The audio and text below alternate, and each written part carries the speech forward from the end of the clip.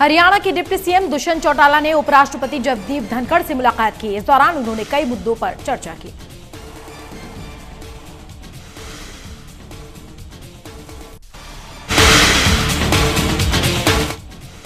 सोनाली फोगाट, हत्या मामले में एमएच वन को अहम दस्तावेज़ मिले हैं। इस डॉक्यूमेंट में सुधीर सांगवान ने सोनाली को अपनी पत्नी बताया था। सोसाइटी के रेजिडेंट इन्फॉर्मेशन फार्म में उसने सोनाली को अपनी पत्नी घोषित किया था। इस फॉर्म में फ्लैट में रहने वाले लोगों को जानकारी देनी होती है, जिसमें सुधीर ने सोनाली को अपनी पत्नी बताया था।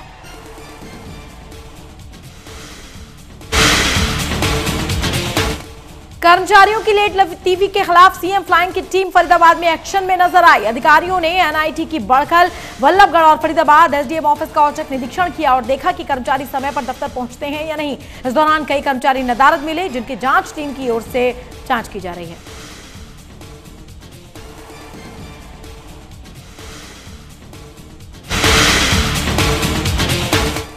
दिल्ली के मुख्यमंत्री अरविंद केजरीवाल और पंजाब के सीएम भगवंत मान बुधवार से दो दिन के हरियाणा दौरे पर रहेंगे, जहाँ वो हिसार में make India number one mission की शुरुआत करेंगे।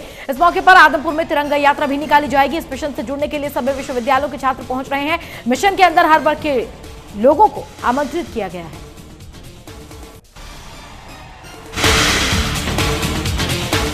कांग्रेस नेता भूपेंद्र सिंह हुड्डा के बयान पर हरियाणा के कैबिनेट मंत्री अनिल विज ने पलटवार किया। विज ने कहा कि कांग्रेस को हमेशा हर चीज़ में खोज नज़र आती है। उन्होंने कहा कि आज हिंदुस्तान विश्व की पांचवी आर्थिक शक्ति बना हुआ है और वो उन्हें नज़र नहीं आता। आपको बता दें कि इससे पहले पूर्व सीएम भूपेंद्र सिंह हुड्डा ने बीजेपी की नीतियों से आम जनता की बेहाली की बात कही थी।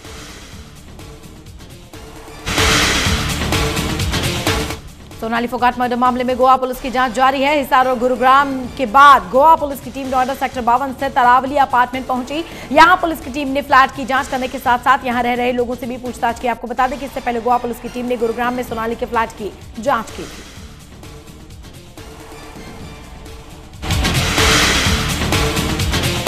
सोनाली फोगाट के हत्या मामले को लेकर बेटी यशोधरा ने प्रधानमंत्री नरेंद्र मोदी और हरियाणा के मुख्यमंत्री मनोहर लाल को ट्वीट किया। बेटी ने ट्वीट में लिखा कि गोवा पुलिस के से मामले की जाँच लेकर सीबीआई को हैंडओवर कर दी जाए। आपको बता दें कि सोनाली फोगाट का परिवार गोवा पुलिस की जाँच से संतुष्ट नहीं है।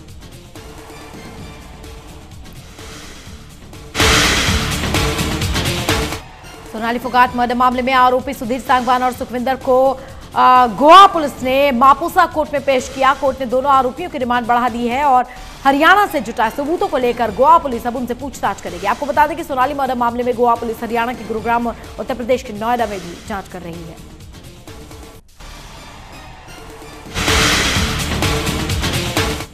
फतेहाबाद में हरियाणा रोडवेज़ बस की टक्कर में महिला टीचर की मौत हो गई। हुदा सेक्टर तीन के पास यह हादसा हुआ। महिला टीचर की पहचान अनुपमा के तौर पर की गई है। वो गाँव भडोवाली के सरकारी स्कूल में तैनात थी। घटना के बाद बस चालक फरार हो गया। पुलिस ने शव को कब्जे में लेकर पोस्टमार्टम के लिए भेज दिया है।